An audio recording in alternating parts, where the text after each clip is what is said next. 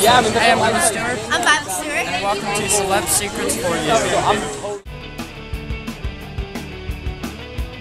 How excited are you guys to be here for the Lollipop Theater Foundation? We're so excited. It's actually the third annual game day and 10th anniversary. So And uh, I heard there's life-size games. yeah, yeah, like life-size Jenga and Monopoly and etc. And what what do you guys do to get back to the Lollipop Theater? Oh, well, you know, we've been to a couple of events before, and we're still, like, learning about the whole organization. And one thing I, I learned about was that they